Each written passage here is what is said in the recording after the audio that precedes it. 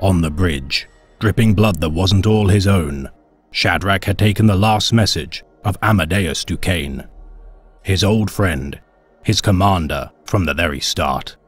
The Gorgon's dead! Duquesne had yelled at him over the link, the image of him fracturing and breaking up. My lord, he's dead! He's gone! Fulgrim butchered him! They're all dying, Shadrak! It's a bloody massacre! An obscenity!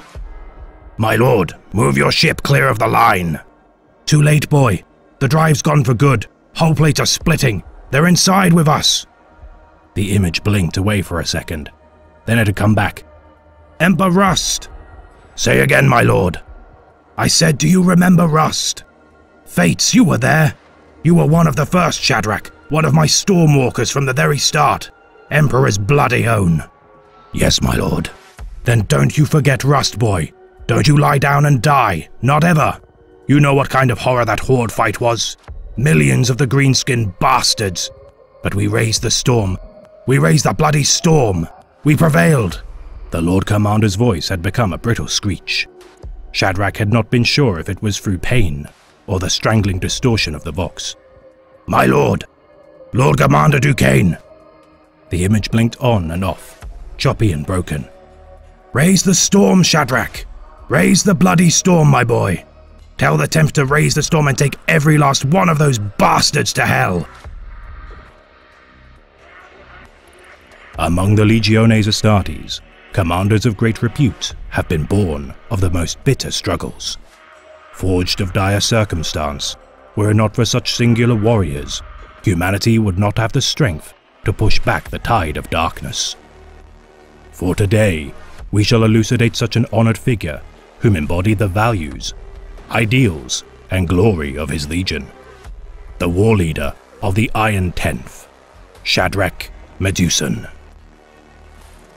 Born on Holy Terra, the Astartes known as Shadrak Smith would be raised from the ancient Terran region of Albia. Inducted into the 10th Legion during the latter period of the Wars of Unification, Smith would serve for over 200 years with distinction. Deployed during the compliance of the Afric and Pan-Pacific regions of Terra, Shadrak would serve under the Lord Commander of the 10th Legion, Amadeus Duquesne, during his formative years as an Astartes.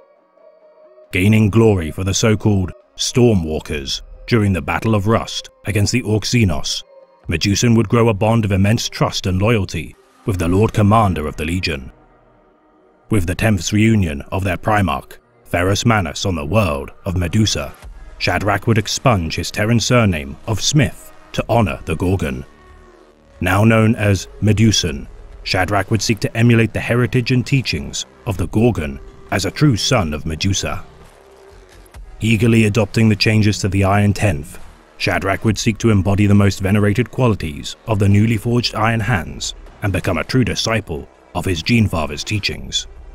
Proving himself worthy of his new name and heritage, Shadrak would earn glory for his legion during many engagements of the Great Crusade. Taking command of contingents of the Legion during battles such as the Purge of Caldera, in the stead of both Ferrus Manus and First Captain Gabriel Santor, Meduson would demonstrate a deep understanding of battle line tactics and anchor formations. Orchestrating the killing blow against the Eldar forces during the battle, with the return of Santor's command of the Legion, the first captain would refuse to interfere with his well-laid strategies and allow Meduson to remain in command of the battle. Aiding Meduson with permission to command his Morlock Terminators during the battle, Santor would lead his men into the final push to win victory for the Iron Tenth. Promoted to the rank of captain of the 10th Company, the Sorrgol clan, Meduson would facilitate command instructions ordained from his senior officers and Primarch to his lower-ranking battle brothers. Yet despite his flawless achievements and victories, Shadrak Meduson's fortunes would soon begin to sour. With the open rebellion of the Primarch of the 16th Legion, Horus Lupercal, the Iron Hands would be sent forth by the Emperor to crush the War Master's upstart coup.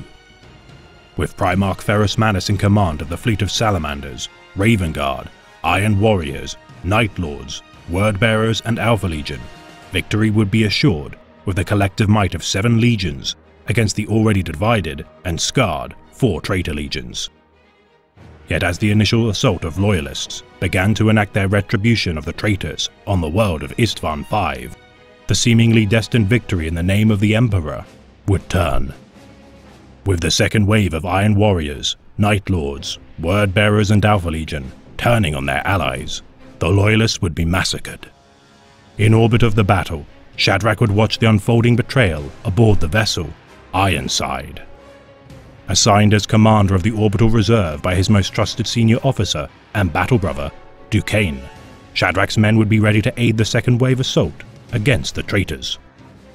Yet such an assault would never come to fruition, as Meduson and his men looked on in horror at the deceit and cowardice of their own brothers-in-arms.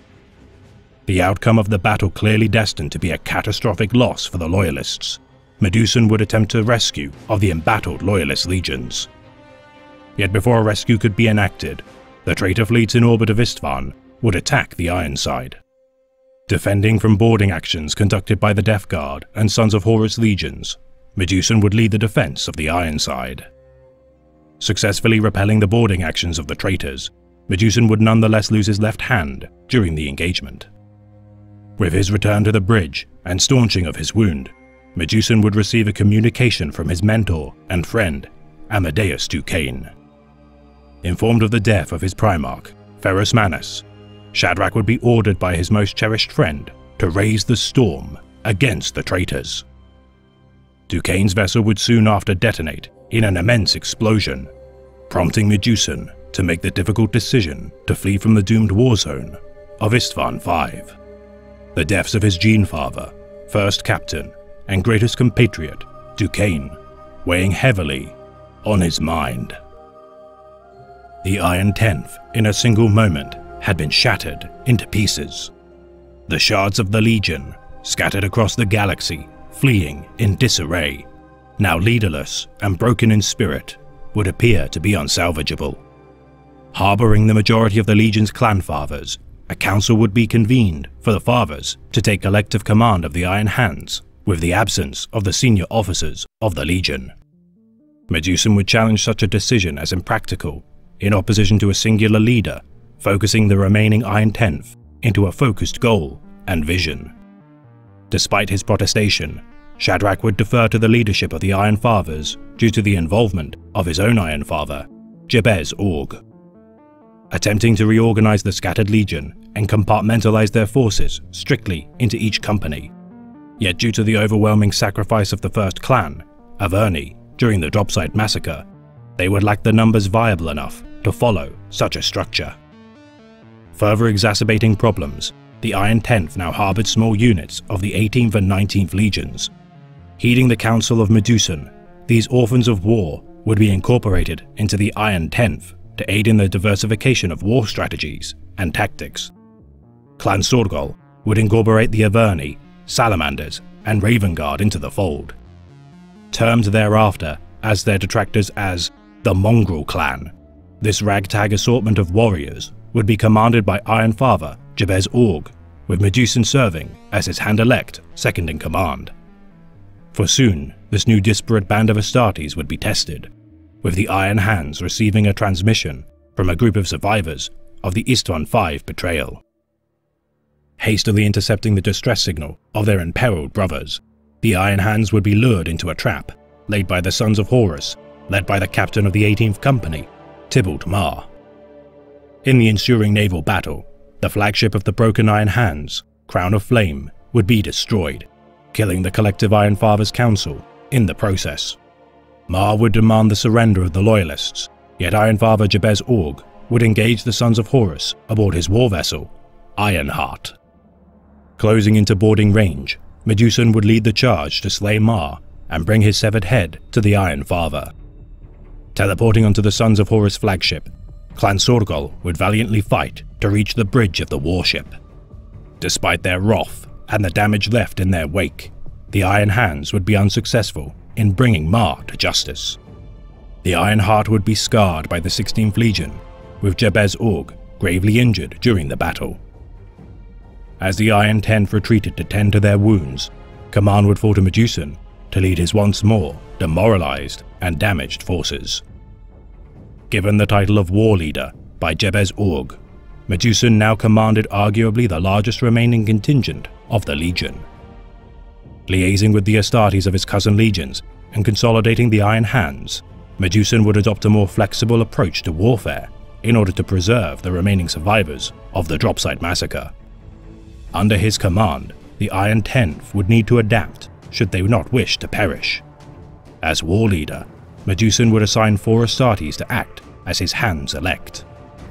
Breaking with tradition, Meduson would bequeath the title to a representative of both Clan Sorrgol and Avernii, and an Astartes of the Salamanders and Raven Guard.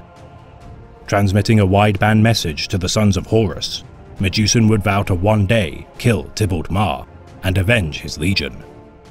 Proclaiming his name to the traitors, lest they forget that the survivors of Istvan V were a force to be reckoned with, and under his command, they would not be found wanting for blood and vengeance. Striking the traitor forces during naval battles for several years of the Horus heresy, Shadrak Meduson and his band of Astartes would harass and hound the War Master's forces. Alike to the tales of the boogeymen of ancient terror, the shattered legions under Meduson would aid the loyalist war effort by crippling supply lines, reinforcements, and strike forces of the enemy. Bolstering his forces' effectiveness by incorporating the strengths of each legion under his command, Meduson's raiders would prove an effective thorn in the sides of the traitors to the throne. Gradually gathering small bands of survivors of the Istvan betrayal into their ranks, the guerrilla warfare of the Orphans of War would gain further momentum. Aiding the penitent White Scars atoning for their acts of betrayal under the command of Hibou Khan, Meduson's forces would save the Sagyar Mazan from certain death and incorporate their forces into his own. Assembling an army sizing 58 battalions in strength, Meduson would also embed a portion of his forces into the world of Dwell in order to ally its populace of 8 million strong to combat the War Master's forces. Wounding the sons of Horus' captain, Horus Aximand, and attempting to assassinate the War Master by hiding Astarte strike teams within the Imperial Army defences, Meduson, though unsuccessful in preventing the planet's annihilation by overwhelming traitor firepower, would nonetheless prove to be a deadly opponent. Orchestrating other assassination attempts against Primarchs Mortarion and Fulgrim subsequently, though again unsuccessful, they would manage to injure the Primarchs. Infuriated at the Tenth's continued resilience and near deadly attempts on the Primarchs' lives, the War Master would dispatch a portion of his legion and assign them to destroy Meduson's band of warriors. Commanded by Captain Tybalt Marr, the personal vendetta between the war leader and the Either would come to a deadly conclusion. Despite Meduson's notoriety gained in the wake of the Battle of Dwell, the war leader and his forces would bide their time before striking once more. So far-reaching was the war leader's reputation, the Primarch of the Alpha Legion, Alpharius, would even assume his identity during his infiltration of the Shattered Legions. Yet with the end of the Horus heresy drawing near, Meduson's raids would resume with continually escalating brutality and wrath. Despite his efforts, the Iron Hands under Meduson's command would be ensnared by madness and desperation due to their legion's continued misfortune. A coup of Iron Hands would attempt to usurp Meduson's command guided in their actions by their self-proclaimed allegiance to the spectre of Ferrus Manus. The cult of the Gorgon would construct a golem facade of the Gorgon, utilizing his own severed hand in the construction of their heretical totem of the Primarch. Yet with the intervention of the Primarch of the Salamanders, Vulkan, during his pilgrimage to Holy Terra, the mechanical puppet adorned with the trappings of the Gorgon would be sundered. As the cult of the Gorgon fell to ruin, Meduson would pardon his brother's treachery, orchestrated in part by his own Iron Father, Jabez Org. Continually clashing with Tybalt Marr's larger battle fleet, Meduson would seek the aid of Vulkan in his crusade against the Sons of Horus. Yet with his own destiny to fulfill, the Primarch of the 18th would decline Meduson's offer. Enabling Vulkan's traversal to Holy Terra, Meduson would in the wake of the cult of the Gorgon and dealings with Vulkan, resolve to end his bitter rivalry with Marr. Committing his forces to a final battle against the Sons of Horus, despite Jebez Org's protestation, Meduson would openly engage the sons of Horus during the Battle of Arishak. Leading a boarding action against Marr's flagship, Lupercal's Pursuivant, his men would tragically be ambushed by the cunning captain of the 18th Company. Iron Father Jebez Org would abandon the war leader and withdraw from the battle with the remainder of the Shattered Legion's fleet. Bound in chains, Meduson would be brought before Tybalt Marr, and alike to his gene father, be decapitated by the traitor scum. His duty to drag the traitors to the throne to the depths of hell ended in ignominy. Meduson came around in a dank cell in the bowels of the Lupercal Pursuivant. Makosa glanced across at him from the other side of their confinement. He had a blade to his neck, angled down towards the heart, and two renegades held him fast. He saw no sign of the other warriors who had survived the ambush in the sword hall. Let him go, Meduson demanded, the pain in his skull where Marr had struck him a dull ache. He had minders too, and felt the pressure of augmented strength against his shoulders. The champion again. No, said a voice from the shadows, and Tybalt Marr stepped forwards. He gestured to Makosa, and then to his warriors. Kill him. Meduson roared, but they slew Makosa without hesitation. The gladius came out of his neck slick and heady with transhuman blood. Meduson strained against his keepers, the veins in his neck bulging with effort, but was held fast. A little oil in there, perhaps, said Marr with a smirk. Bastard! What have you done with the rest of my men? Answer me! Marr drew close, gesturing casually to Makosa. They share his fate. I'll kill you. I'll bloody well kill you. He struggled again, and felt the sword tip draw blood. Marr merely looked his prey in the eye. Meduson snarled through gritted teeth. My warriors are coming. I will be avenged. You will kill me, or your warriors will kill me. Which is it? Either way, you'll be dead. Marr nodded, then motioned to the guards. Get him on his feet. Meduson felt the pain of his injuries flare in anger as he was hauled up. Marr took another step. Their noses almost touched. Taller than I expected, he said. It really is you, isn't it? I wanted to be sure. I had to be sure.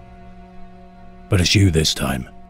I'll kill you, Meduson seethed. You said that already. I expected better, if I'm honest. Something... He frowned, trying to find the right word, and settled for a lesser one. More. You filth. Fight me. Prove who is the stronger. It's what you want. Marr stepped back. Oh, that's better. Trying to find a way out. Your strategy is flawed, though, because you're wrong, Shadrak. You turn this into something personal, an oath sworn to your men, or more likely yourself. A vendetta. I, Tybalt Marr, your nemesis. I never cared about you, Meduson. But I had to be sure. I say that twice, so you know why I've kept you alive this long. It's not because you're a worthy foe, and I wanted to fight you in some vainglorious arena of death. I had to know you weren't coming back to haunt me like you did before. I don't want to duel. He frowned, as if the very idea was distasteful, or prove my worth. There's no honor in putting down a beaten dog. It's just mercy. I just need you dead. Meduson snarled, defiant to the end. I hope you choke on my blood, you scum-eating wretch. You will never break us. The Iron Tenth will endure. We will end... Marr drew his sword, it took one blow to cut off Meduson's head. Tybalt Marr reached down to grasp the Iron Hand's severed head by the scalp. Like father, like son, he muttered. Isn't that the phrase? This has been a tale of the great Imperium of Man, read by the Remembrancer. Meduson's fall would not be the first, nor the last, marring an unimpeachable service for the enemies of his imperium are without honor or dignity. Lest not we forget the sacrifice of Meduson, nor any of his resolute brothers in arms, for it is sacrifices akin to his that mold the Imperium's valor and staunch defiance against the enemies of humanity.